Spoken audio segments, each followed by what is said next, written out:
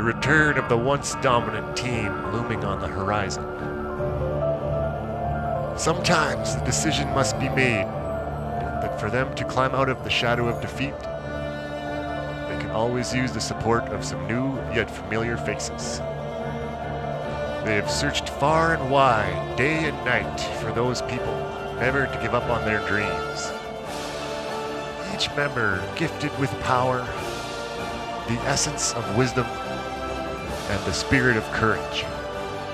All had been utilized to find the perfect combination. They found me. They found us.